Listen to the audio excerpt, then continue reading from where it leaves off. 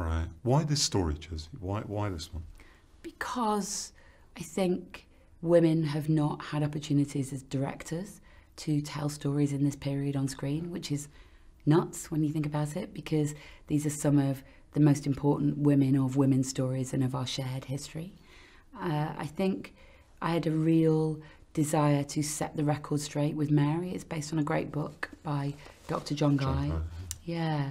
And one of the cool things about John's book is that he's a forensic historian. You know, he went back into the archives and worked out that Mary had basically been fake newsed by people within her own time. Actually, Cecil, who's played by Guy Pearce in the movie, you know, she'd been portrayed as someone who's too emotional to lead, who was too sexual to be competent. And, you know, that was a big myth. And to try and get that out of the way and go back to the very source in this great book and tell this story of this extraordinary actor, Saoirse Ronan, was a driving force behind the film. Completely. Very, very contemporary themes, though, aren't they? Gender politics, fake news. Was that becoming more and more apparent as you were making it, or you you would have been aware of that right from the word go anyway? But Yeah, I mean, I think that you say gender politics. I mean, I suppose uh, I've always tried to tell stories about women and particularly women in power, something that interests me as a woman.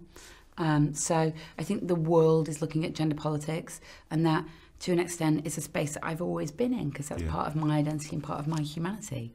You know, it's a thing I know and understand firsthand. And of course, we stretch our imagination in movies, but we also find ways to tell our own stories. And although I am not a crowned head of Europe, you know, part of my story as a woman who's tried to lead uh, is in this narrative. So, yeah, that's, that's part of it, I think.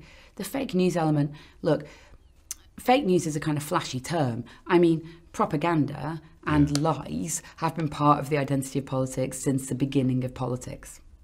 completely. You, you mentioned your your wonderful um, leading cast and Margot as as your Elizabeth. You, is it true she was a little bit hesitant when, when you first approached her? Margot said no. She actually Uh, said yeah, no. she said no. No, she definitely said no. Um, not because she didn't love the script, or I think like me, um, but because she felt that this role had been played by so many greats on film before, and she didn't have the knowledge of the history. And I wrote to her, a bit like in the movie, I wrote her a letter. Well, was an email, and said, said, look, you're the only person for this part for me. You're the right person to play opposite Saoirse, and the idea of you two together on screen is a wondrous thing.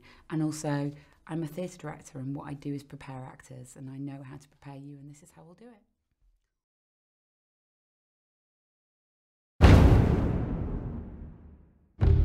隣り合う国に君臨する2人の女王メアリーとエリザベス国をかけた陰謀が2人を襲う There is news. Your cousin Mary has returned to rule in Scotland. She is formidable. My dear cousin Elizabeth, I hope we might meet in person, that I might embrace you. But ruling side by side, we must do so in harmony, not through a treaty drafted by men lesser than ourselves. My dear cousin, let our nations cherish each other as we would, two kingdoms united. You would have me depose the sister monarch. It is either civil war there or civil war here. All I have done is try to unify this land. Do not play into their hands. You would do well to watch your word. Your beauty, your bravery. Now I see there is no cause for envy. But they are trying to usurp my crown. 同じ立場で理解し合える唯一の存在。それでも運命が2人を翻弄する。